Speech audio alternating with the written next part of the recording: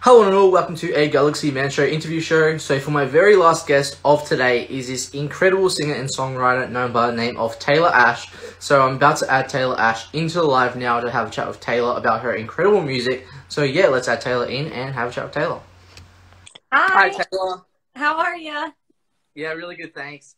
I just want to say first up, thank you so much for coming on to my show. It's such a pleasure having you on the show today. Thank you. Uh, to people that don't know who you are, Taylor, if you give like a bit of backstory about yourself, and then we'll dive right into the questions. Sure. Yeah. Uh, so, like you said, my name's Taylor Ash. I'm a singer songwriter from uh, right outside the Philadelphia area in Pennsylvania, um, and I have been writing songs since I was just very small. Um, probably my first song I wrote when I was like eight, I want to say, and um, I went to uh, I studied music in college and I studied classical music in college, which was a little bit, you know, of a different vein, but learned how to like compose and do film scores. So now that's kind of what I do now. I do a lot of, you know, writing music for podcasts. I write my own stuff. I'm working on an album and I teach and I teach music. So that's just a little bit about me. So, so we'll dive right into the question now, uh, Taylor. So for my very first question, you've created incredible songs, past and present. And for the very first song I'm going to mention, End of the Line, what was it like coming up with the idea of creating End of the Line, and what's the meaning behind this one? So, End of the Line is a bit of a different vein for me in terms of like the genre of the music. It's more, you know, electronic. Um, and it really came about because I had started learning how to produce my own music. And I kind of just sat down one day and was like, let me just like mess around in Logic and see what happens. And the, the song kind of came out of that um, the inspiration, I guess, is is kind of a little like mystical where it's it's about kind of like life and death or what happens after you die. And if you've seen the music video it's kind of in that vein you know? So i guess that was the inspiration for it in a way. And i don't know why. It just like kind of came they like a lot of my songs it just like comes out you know sometimes. But uh yeah so that's what that that was like So, so, so for my very next question, so you've also created a song called After Amen. What was it like coming off the idea of creating this one, and what's the meaning behind this one? So um, this one also is self-produced too. So these those two songs are my only like self-produced um, songs that I've that I've done. Um, and it's kind of funny because they're both in the same kind of concept of what comes after the the lyrics. What comes after Amen? You know, it's like what happens after you pray. Is there, you know, it, and it's a very much you could see my headspace in 2020 was very uh, like a little a little dim, you know. so, Fine. you know, it, it, so I think it was it's it's kind of like a cry. Like the music video for that one is kind of about this character who like loses her faith in like religion and praying and everything and but then kind of finds her way back into it in herself a little bit. So i think that's definitely the meaning for me and i and everyone can interpret it however they please. That's the great thing about music is you're connecting to it in a different way that's amazing. So yeah but that's what it means to me. So on to our very next question. So you've also created an original song called mm-hmm. void. What was it like coming up with the idea of creating void and what's the meaning behind this one Okay, so Void is about um, this was back i wrote that song back in college and back in 2014 i was actually diagnosed with an autoimmune disorder that really like de- like debilitated me. Like i was like walking around with a cane like it was i had very very severe joint pain and it was like really scary because you know like in the hospital they were like we don't know what's happening at first. Like we have, they had no idea because autoimmune disorders are very hard to diagnose. And after that kind of experience, once we knew what it was and like we kind of got settled, I started having extreme anxiety from just like the trauma of that event. And so Void kind of came out of that, that feeling of like anxiety for the first time and dealing with that. Um, and just like dealing with all the like demons in your head and that kind of thing. So that's what that song's about. Yeah. So I'll our next question. So you've also created an original song called Childhood Romance. What was it like coming up with the idea of creating this one, and what's the meaning behind this one? Childhood Romance. That's a th- that's a real throwback for me. That one's like a really old song. Um, so that one's about one of my like like kind of childhood sweethearts, I guess. You know, we grew up playing together when we were very, very small. And then eventually we got to high school and we actually started like dating. So I wrote that for him. And it's, uh, yeah, it's just like a cute little, like, I feel like it's a very indie kind of, you know, cute little song. So yeah, that's what that one's about. So I'm sorry for your next question. So you've also created an original song called Far Away. Mm-hmm. What was it like coming up with the idea of creating this one, and what's the meaning behind this one? Mm-hmm. This is this is also kind of an old one. That was very like kind of exiting high school into college.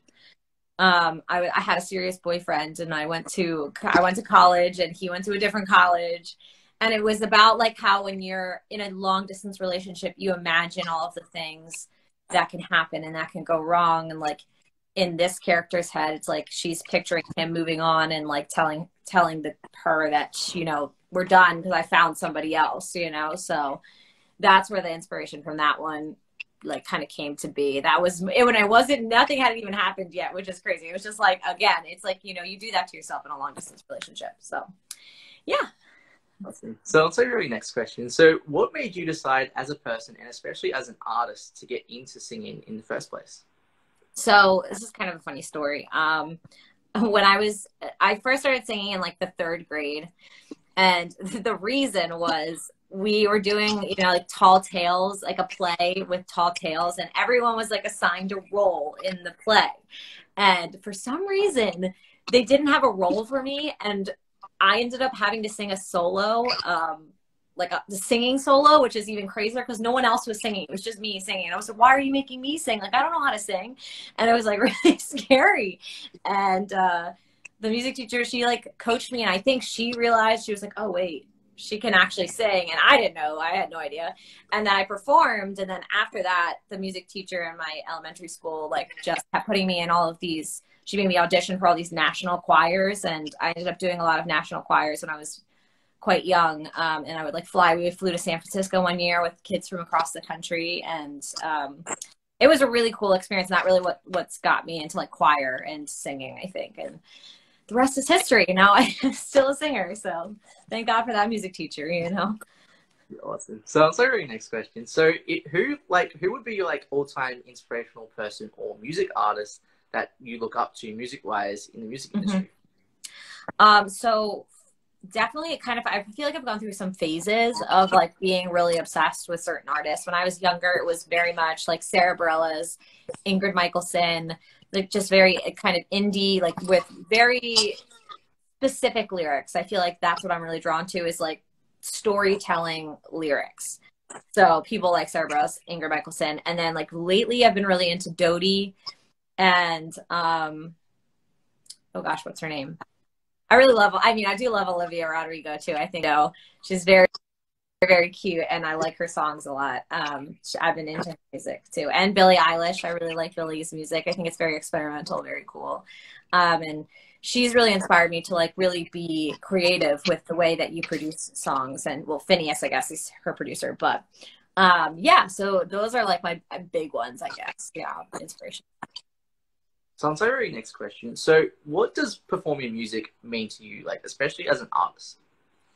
Yeah, it's pretty much it's everything you know? I think especially after this past year like really honing in on like not you know not being able to perform in a normal way. That so i think performing is just like where i feel the most at home where i feel the most like alive and and you know and i'm really enjoying myself anytime i'm on the stage or in the studio or doing anything like that so so on to our next question. So if you could work with any top three music artists in the music industry, who would they be and why? Yeah, I would say I would love to do a duet with like Miley Cyrus. I love Miley Cyrus. Um, she's very cool, and Dodie as well. Like oh, Dodie and Julien Baker. Oh, I have like I could have I have a list of like it would be just so cool to do. Um, a couple of like you know thinking of like male artists too. Like I love the Killers, like the lead singer of the Killers, um, Brandon Flowers. His name was escaping me for a second.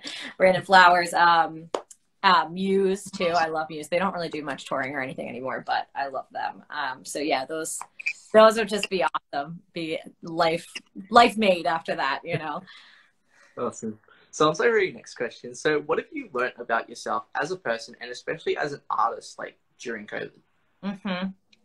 Um, this is a good question. I think I've learned that I'm more creative than I give myself credit for sometimes because, you know, I, I've had a lot of my friends who are also artists be like, you know, come to me and be like, wow, like you really put out a lot of content during that period of, you know, COVID.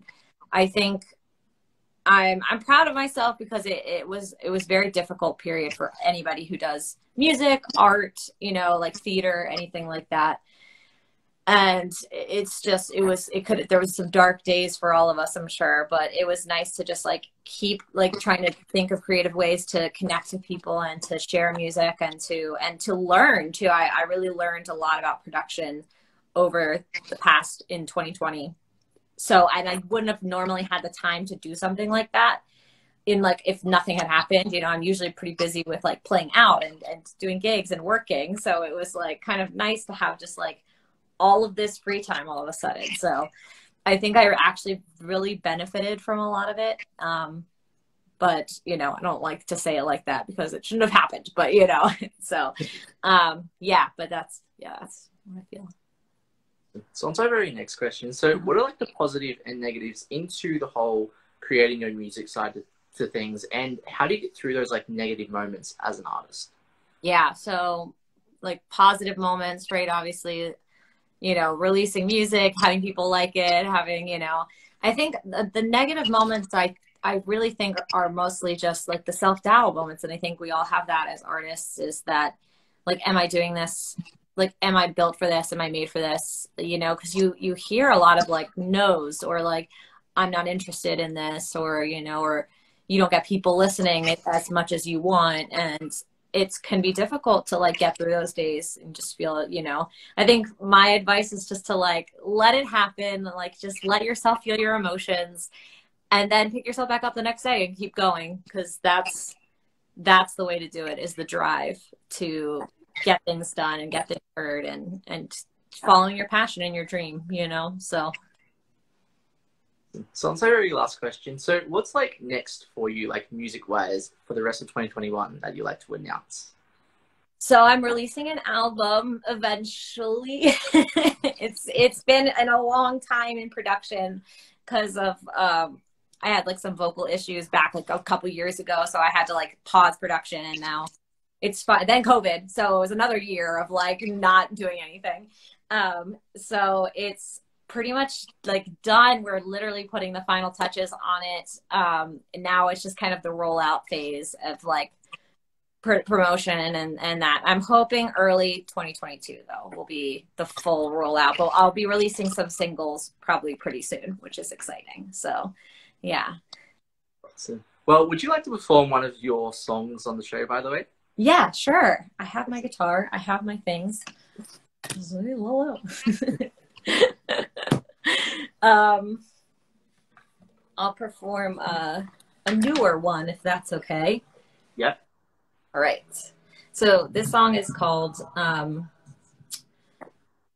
doesn't really have a name yet. I think it's just going to be called "Stay Away," "Stayed," "Stayed Away," something like that. But it's about um, feeling eh, being stuck in a toxic relationship. So.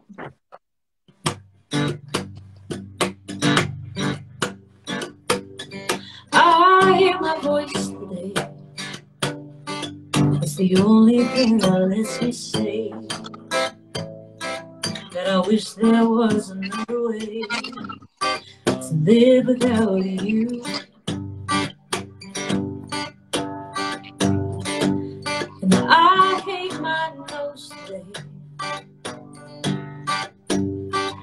The only thing that gives away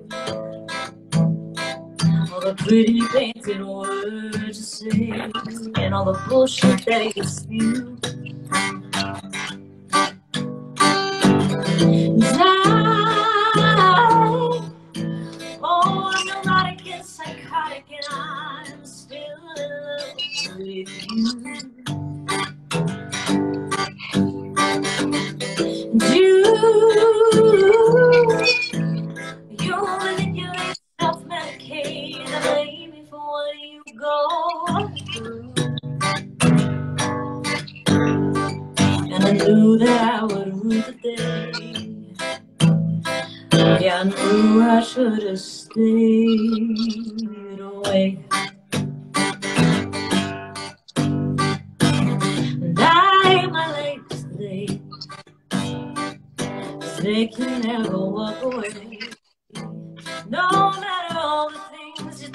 Say, they won't walk away from you. Cause I hate my brain today. Cause it keeps telling me to leave.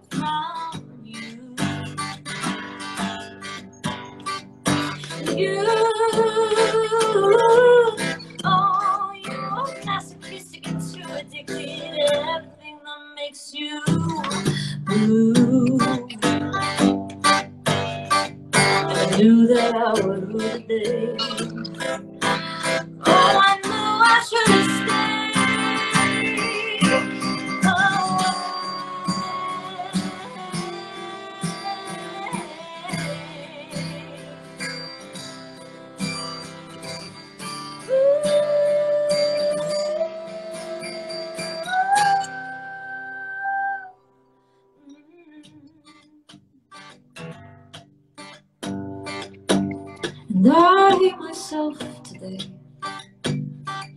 I knew I should have stayed away. But like an addict, I came back to play.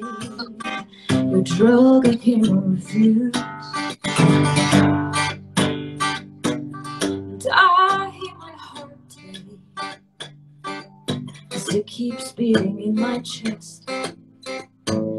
Keeps telling me that it knows best Well, I'm bleeding out.